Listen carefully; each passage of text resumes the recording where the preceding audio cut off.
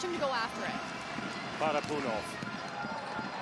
He puts that one on Esfandiar again. It's the libero that steps in, but a kill block. Here's a big one. We've seen plenty of power. They're playing at a high level.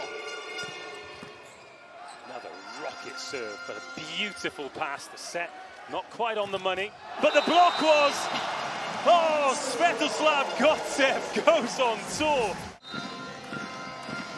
Nikolai Kolev, 22-21, safety first with that serve.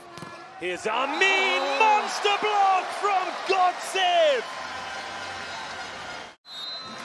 Kolev, 23-21. Again, safety first with the serve. Vardy, right the way across the net. Sharifi blocked. Bulgaria go back.